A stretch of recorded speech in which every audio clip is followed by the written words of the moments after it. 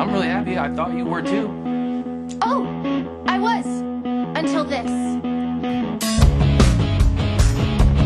You must have misunderstood something that I said. Did I say something crazy while we were having sex? Because sometimes I do that, but it's only to make the sex better.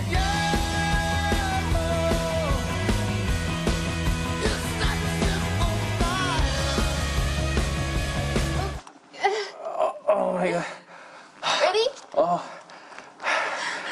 That's not gonna feel good. Oh no!